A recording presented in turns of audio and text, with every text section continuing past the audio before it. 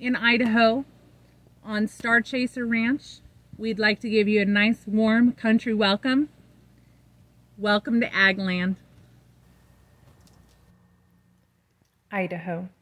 Since 1981, Idaho lawmakers have seen the right to farm as a natural right. In 2011, an amendment was added to include farm facilities and the expansion of farms. Idaho's right to farm law defines agricultural facilities, including, without limitation, any buildings,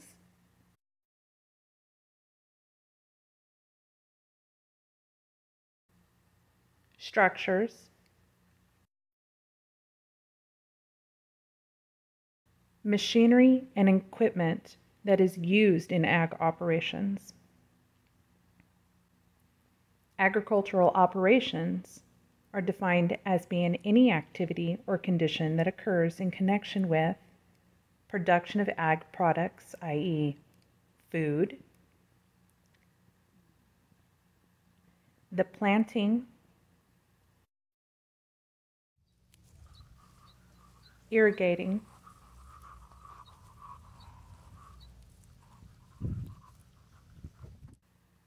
growing,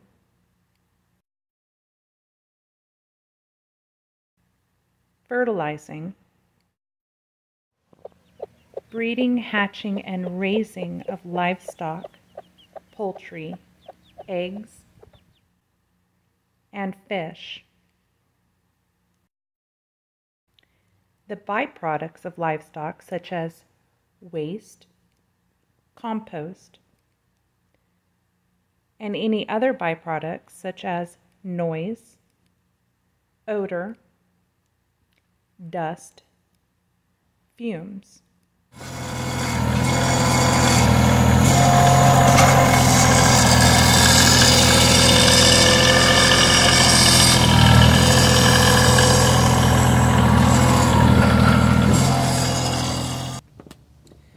So the whole point of these right to farm laws is to prevent city slickers from encroaching into the country, demanding farmers live the city lifestyle. Farmers are the heart of this country. Farmers are necessary for everything that you eat, whether it be animal feed for your animals that you then eat, or the foods that are harvested in the field. Whether you're a big time farmer and you have hundreds of acres, or you're a small scale farmer like I am and only farm one acre. Our lawmakers, in an effort to protect farmland and keep agricultural operations going, because, well, frankly, we need them. They feed us, they provide us with everything our animals need to eat, and so we absolutely need to take every effort in protecting ag land and keeping ag land in production. We live out in the country and our entire area is zoned agriculture by our county. And yet we have city slickers who complain about it.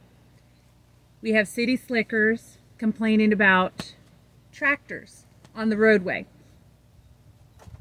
because they go slow. We have people complaining about the crop duster doing his job in the evening. You know, when they're trying to relax on their patio and listen to the quiet of the country, here's this crop duster helping the farmer provide food.